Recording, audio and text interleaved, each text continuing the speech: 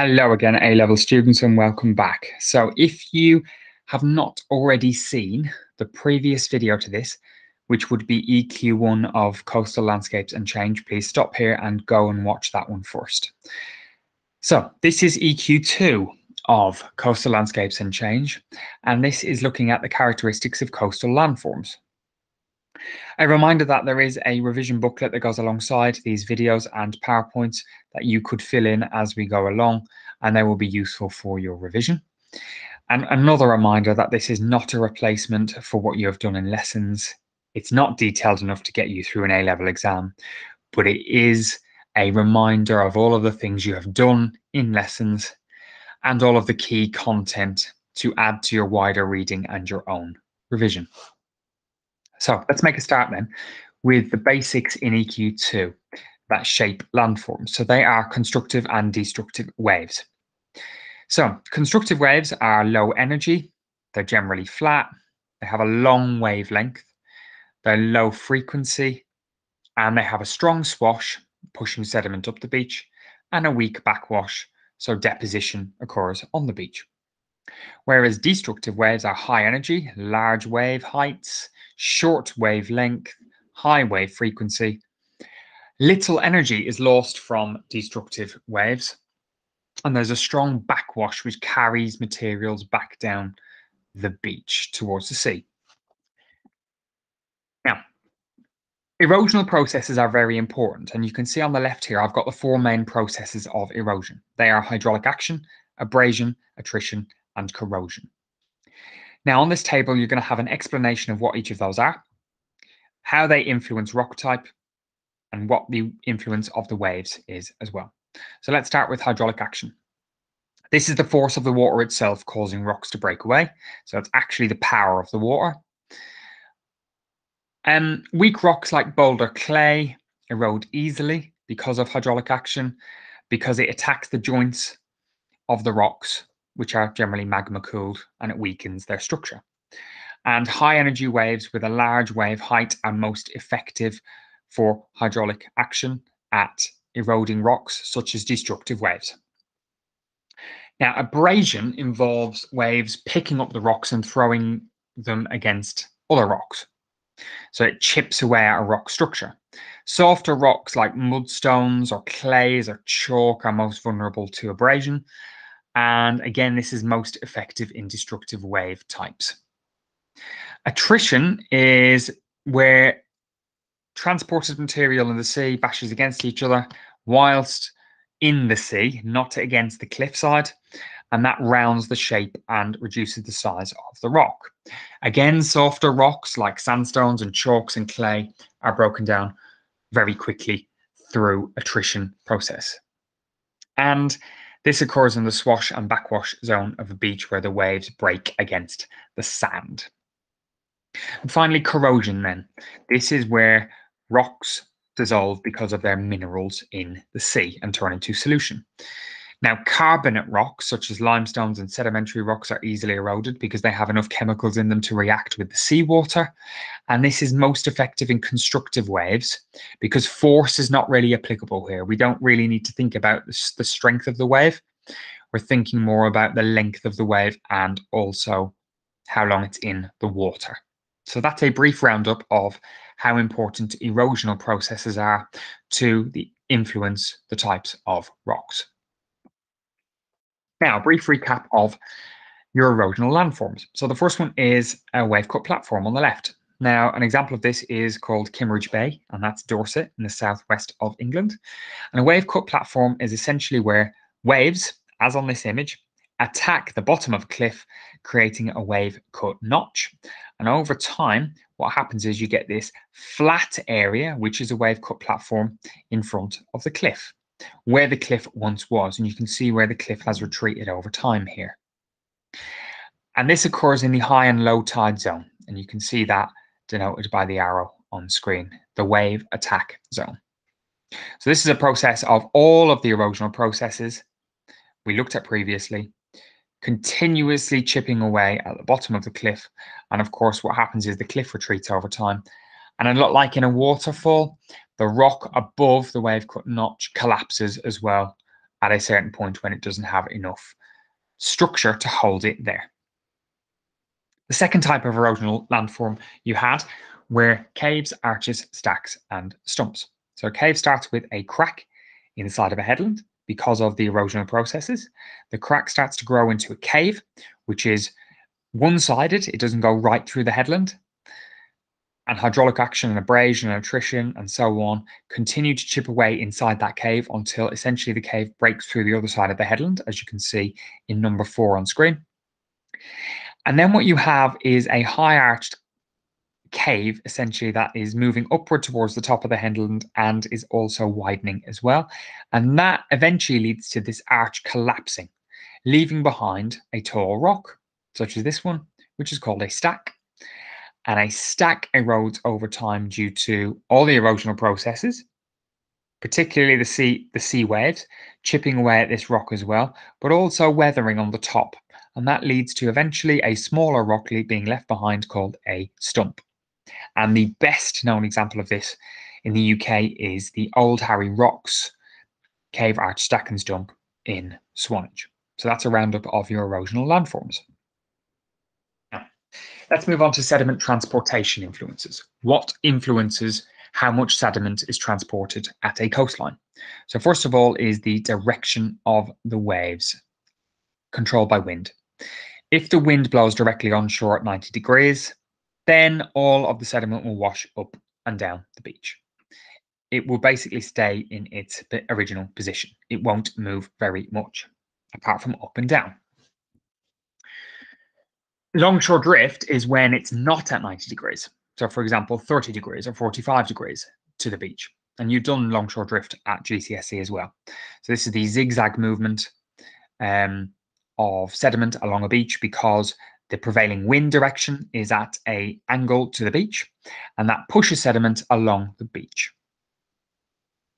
We then have current, so the actual current of the water flow. So this is the flow of water in particular direction. It can be driven by wind fetch, how long the wind has been traveling over the sea and dragging the waves with it. It can also be influenced by density of water, temperature, and how much salt is present in the water. Currents transport material in a variety of ways. The global thermohaline circulation system is an example globally of how currents can move sediment. So certain currents are stronger, so move more sediment than others. And finally, we have tides. And obviously, tides change due to the gravitational pull of the moon and the sun. These tides can create currents near the uh, side of the beach in the nearshore and offshore area and they transport sediment. So the tides can also transport sediment, whether it be high or low tide at different times of the day. So they are the four influences of transportation of sediment. Now, those actual processes of transportation are really simple and they're as follows. So we have traction, which is the largest boulders, and they're being rolled along the riverbed or the seabed. Then we have saltation, where those boulders become smaller and can bounce along the seabed. We then have suspension, and this is where the tiny bits of rock that have been eroded away are suspended in the sea water. And we finally have solution, where, for example, sandstone is dissolved in the river or the sea and is now just carried as a chemical. So they are the four basic processes of transporting material.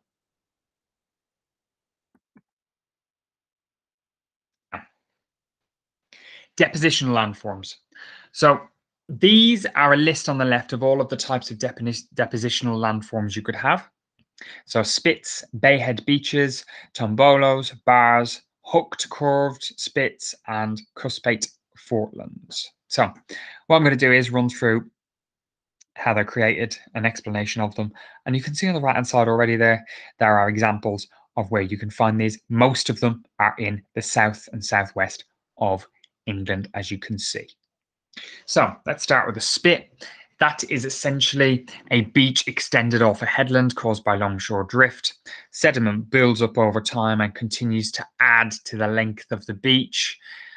The prevailing wind and the longshore drift continues to push the sand off of the headland and it creates an extension out of it. Essentially, it extends the beach. Now, a bayhead beach is a beach which is found in bays and it's produced by material deposited because of weak constructive waves. The swash pushes the sediment up on the beach, but the backwash is really weak, so it doesn't pull it back down with it. Tombolos then are bars. So it basically is a bar that connects two sides of a landscape together. So for example, it can be a bar that connects two headlands. And what happens is that cuts off an area of the sea behind that bar, which eventually dries out and may become a salt or mud marsh. A bar itself then is essentially where that sand, could be from a spit, joins across a bay, joins two sides of a landscape together. A hooked or curved spit is very simply, like in the first one we explained, an actual spit, but this is where essentially the wind direction has changed while the spit is being formed and it pushes the sediment or the sand in a different direction so it forms almost like a curved hand shape or a hook shape. And finally, a cuspate foreland. This one is a low-lying, triangular-shaped headland that extends out from a shoreline, and it's formed again by deposited material. It's caused by longshore drift working in opposite directions. So you may have changing prevailing winds. It might be going east and then west and east and then west and so on. And what it does is it pushes the sand towards the headland in a triangular shape. So another key aspect of what you've learned in coasts is sediment cells. And you can see an image on the top right there of all of the sediment cells of the UK. Now, these are essentially zones that you can section the UK's coastline into, particularly England and Wales, to show different processes in each of those sections. So a sediment cell is a linked system, and it involves the source transfer and sink of material. So where it comes from, how it's moved, and where it drops. Sediment cell is an example of what's called a dynamic equilibrium system. It's a balance between what's being added to the cell, the amount of sand going into it, and what's coming out of it, what's being removed. So a good example to use here is the east coast of England around the Holderness area. For example, uh, the cell sees the sand come from Flamborough Head and then it moves towards the Holderness coast and it sinks at Spurn Head. Okay, so what you see is that southward movement of the sand because of longshore drift from Flamborough Head down to the Holderness coast and leaving deposited behind at Spurn Head. Now, examples of inputs. What actually adds sand into the cells? Cliff erosion, currents, transport from rivers, wind being blown and pushing the sediment onto that part of a beach, subaerial processes and the breakdown of rock, and also marine organisms. So these are all the things that add sand or sediment to an area. Transfers then, transfers then, what actually moves the sediment? Longshore drift, swash and backwash, tidal currents, ocean currents, and wind. They're the main things that move the sediment. And then examples of sink. What happens when the sediment is deposited? So we have what's called landforms on the shore, like sand dunes. We have foreshore landforms like beaches. We have nearshore landforms like bars, and we have offshore landforms like barrier islands. So these are all different depending on where they are. Inland, you'll find the sand dunes, and the furthest out towards sea, you'll find the barrier islands. So they're the types of things that can be formed due to this example of sinking sediment. So that is sediment cells. And within sediment cells, we also have what's called negative and positive feedback.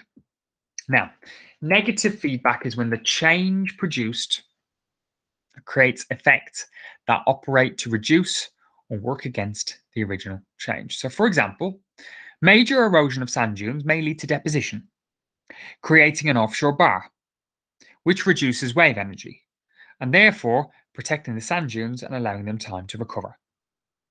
So the sand dune has led to deposition at the sea.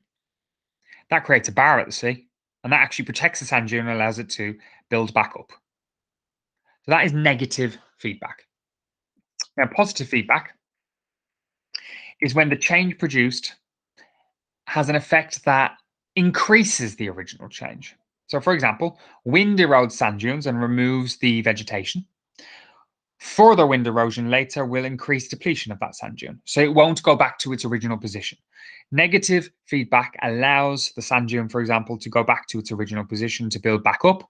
Positive feedback won't. It will further deplete the source. It will further degrade it. Okay, let's move on to weathering then. Now, you did these at GCSE as well. And just a reminder, weathering, unlike erosion, is the breakdown of rock in situ. And in situ means the rock remains in one position, it does not move. Everything else moves around it, it's atmospheric mainly, but the rock itself does not move. So we had three types. We have physical, otherwise known as mechanical, and this is force on a rock, so like freeze-thaw weathering, where water gets into the crack of a rock, it freezes, it expands the rock, and it further cracks it. We also have within mechanical weathering salt crystal growth near a sea, for example. Salt from the air and the sea water gets into the cracks of the rock, puts pressure on the rock inside, and slowly breaks its structure down. And we also have wetting and drying processes. And An example of this is very simply rain, dry, rain, dry, and that continual process. Clay, for example, if it's repeatedly wetted and then dried, expands and contracts and it starts to crumble. So they are your basic mechanical weathering processes. Chemical weathering is all about chemical reaction. So it's chemicals within a rock that react in, con in contact with water and break the rock down. So carbonation, carbon in limestone breaking down due to rainwater. Hydrolysis is about the breakdown of minerals to form new ones.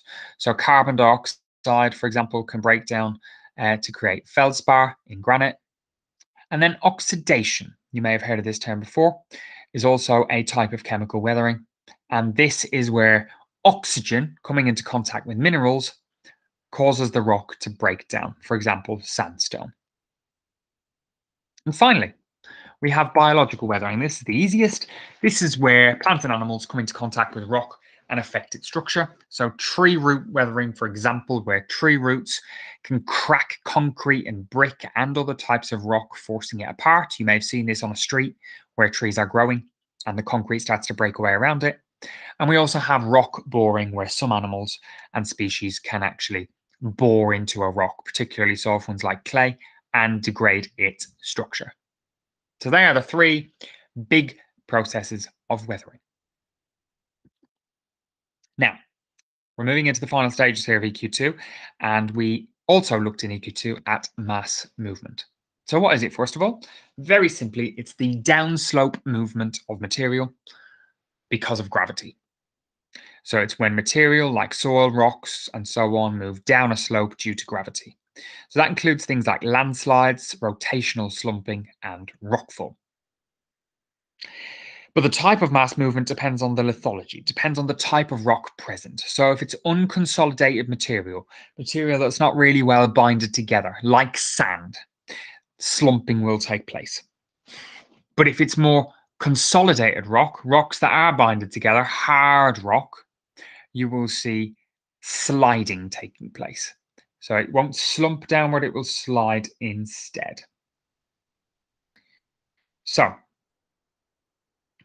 let's go through rockfall. Now, rockfall occurs on slopes over 40 degrees. So the slope has to be quite steep, like in the image on the right. What you see is rock or fragments of the rock breaking away and dropping vertically to the bottom, or whole chunks, like in the image on the right. Now, freeze thaw weathering and salt crystals and hydraulic action and abrasion and all of those sea processes and weathering processes all weaken the rock, first of all. So they are what breaks it down. But then gravity obviously pulls it down as it's no longer able to hold its structure Now, cliffs that are more prone to this rockfall problem generally have a structure that has many joints and faults. So you can see on this image, there's lots of lines, there's lots of joints in this rock that bind it together, but not very successfully after the weathering that's taken place. Steep cliffs, now you can see here that these cliffs are mainly at a 90 degree angle upward. So they're going to be prone to it. And earthquake prone areas as well are very prone to seeing lots of rockfall. Landslides. Now, landslides uh, is the downslope movement of blocks of rock down a hill, even though they can be relatively flat slopes. And all of the material maintains contact with the ground at all times. So it doesn't dramatically fall down, it slowly creeps down. Chemical weathering causes this, and so does general weathering processes like freeze thaw.